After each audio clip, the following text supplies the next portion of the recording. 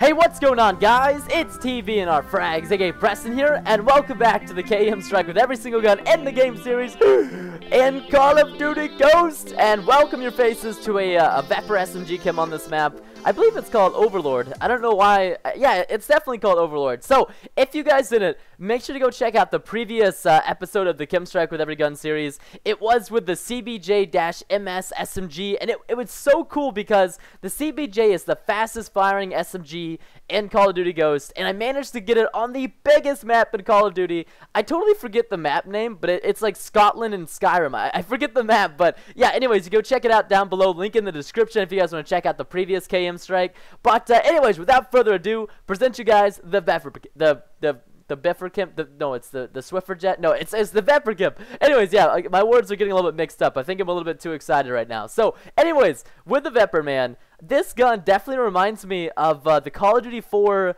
uh, AK-74U, which was by far the best and my favorite SMG in Call of Duty 4. I'm not really sure why that is. I think it's just kind of like how the gun looks and how the iron sights look. It's just very similar to how the AK-74 looked in uh, Call of Duty 4. And one thing like I really love about the Vepr is uh, is the fact that you have 42 bullets in each magazine. I think that is just a ridiculously awesome amount. It's almost as much as the PDW from Black Ops 2. The PDW had 50, and this one is 42, which is freaking ridiculous. So it really helps them picking up those like double kills, triple kills, or even like quad kills if you manage to even like survive that. I, I can never really manage to survive, it seems like more than three people in Call of Duty Ghosts, just because it seems like I die in like two bullets. So yeah, with that being said, man, if you can manage to get behind four people and mow them all down, the Vepr will definitely do that, and it will do it in style.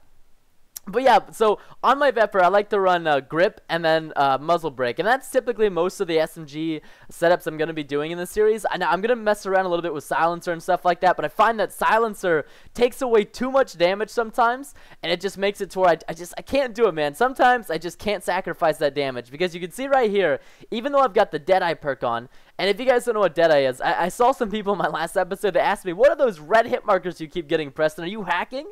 Um, the little red hit markers, that's when Deadeye gets like a critical hit, and it does extra damage with your bullet uh, you know, with your gun and stuff like that. It's a perk that you can use. So, yeah, that's what Deadeye is. So, even with Deadeye on, you can see that I'm still getting like four or five shots sometimes before I even kill a man. So, it's kind of ridiculous.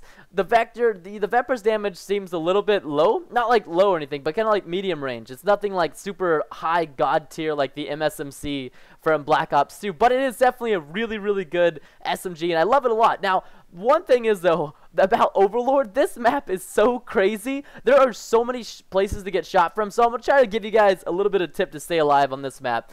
Is, for me, I just like to play certain areas of the map, and then I rotate. I don't like to stay in one area too long, and I don't like to patrol the whole map because one way or another, you're going to get shot in the back or something. So make sure to stay, you know, it, like look at your mini map. Watching your mini map's the biggest tip.